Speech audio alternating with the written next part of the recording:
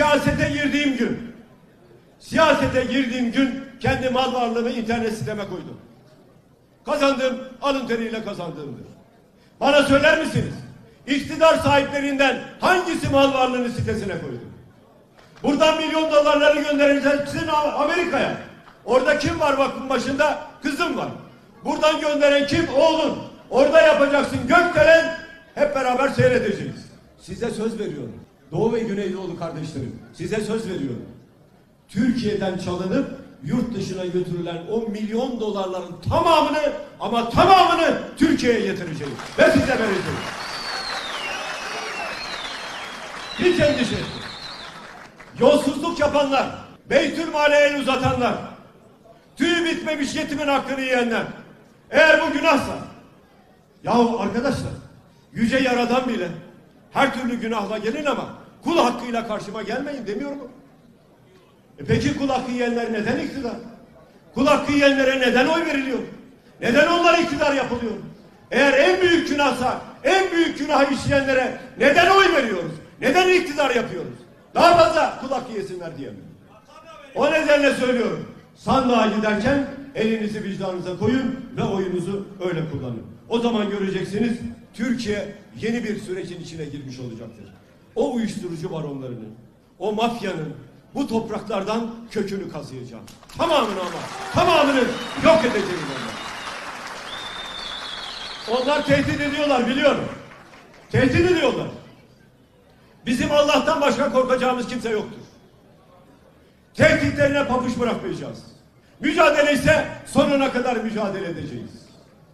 Onların önünde diz çökerek onlara itaat etmek varsa biz ayakta ölmeyi her zaman tercih ederiz.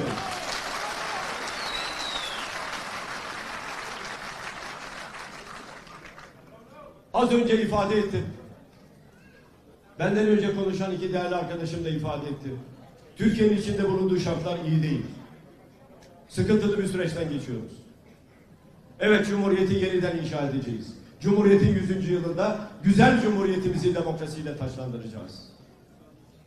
Eğer bugün bu büyük topraklarda hala mercimeği dışarıdan alıyorsak, fasulyeyi dışarıdan alıyorsak, buğdayı, pirinci dışarıdan alıyorsak, canlı hayvanı dışarıdan alıyorsak, eti dışarıdan alıyorsak, Allah aşkına bu memlekete o zaman biz ne yapacağız?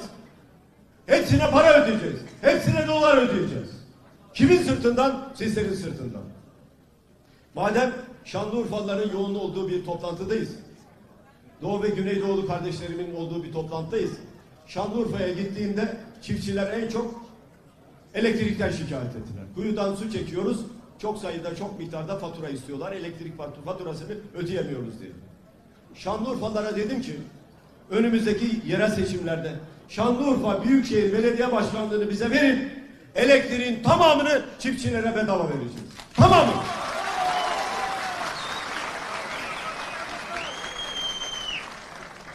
Sayın Erdoğan dedi ki elinden tutan mı var? Yap. Yaptım.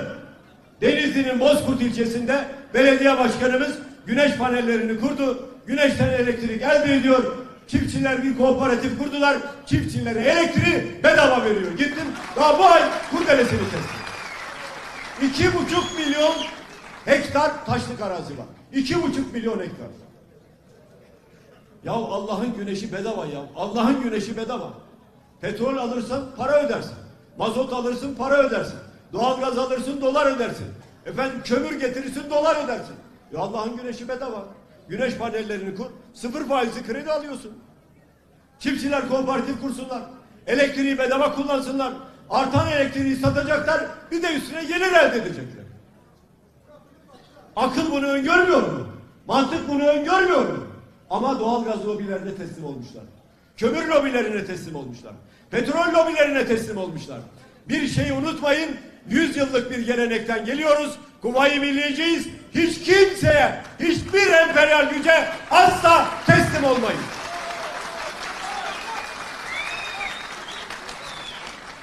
Bütün komşularımızla kavgalıyız. Niye kavgalıyız?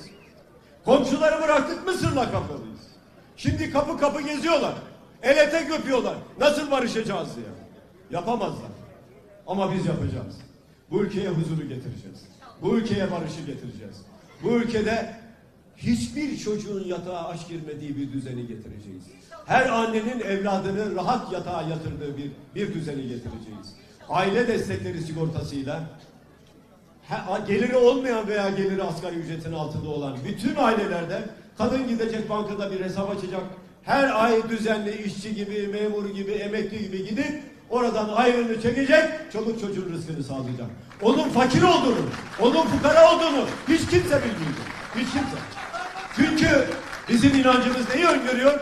Sağ elin verdiğini sol el görmeyecek. Biz buna inanıyoruz. İnsanın yoksulluğunu afişe edemezsin.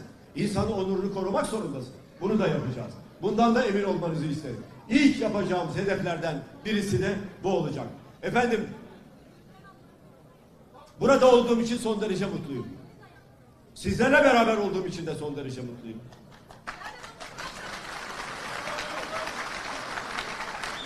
Evet konuştuk. Düşüncelerimizi aktardık. Aşağı yukarı sizin burada yaşadığınız sorunları giderseniz İzmir'in varoşlarında da aynı sorunların yaşandığını görürsünüz. İstanbul'un varoşlarında da aynı sorunların yaşandığını görürsünüz. Türkiye, Türkiye çok güzel bir ülke. Gerçekten. Çok güzel bir ülkemiz var. Bu ülkede kamplaşmak yerine niye kucaklaşmıyoruz ki? Kavga etmek yerine niye barışmıyoruz ki? Ayrılmak yerine niye birleşmiyoruz ki? Öyle bir noktaya getirdiler ki Türkiye'yi komşu komşunun kimliğini sormaya başladı. İnancını sorgulamaya başladı. Buradan Türkiye'yi inşallah çıkaracağız. Huzuru getireceğiz bu memlekete. Bereketi getireceğiz bu memlekete. Birlikte yaşama sevincini, kasada ve kıvançla beraber olmayı hep birlikte getireceğiz. Beraber ve birlikte olduğumuz zaman. Gencecik pırıl pırıl evlatlarımız var. Evlatlarımız umutsuz. Acaba Türkiye düzelir mi diye. Evet Türkiye düzelecek. Evet Türkiye güzelleşecek. Evet Türkiye kalkınacak. Evet Türkiye bütün komşularıyla barışacak. Evet Türkiye'ye bugün aramızda olan bizimle beraber yaşayan 3 milyon 600 bin Suriyeli zamanı geldiğinde Türkiye'ye turist olarak gelecekler. Bizim otellerde kalacaklar. Düğünlerini burada yapacaklar. Türkiye'deki arkadaşlarını ziyaret edecekler.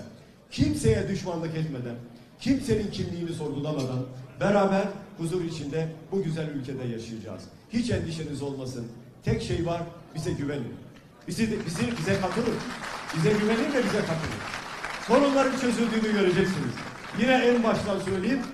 İktidar sahipleri iktidar olduklarında zenginleşiyorlarsa bilin ki onlar halk için değil kendileri için çalışıyorlardır.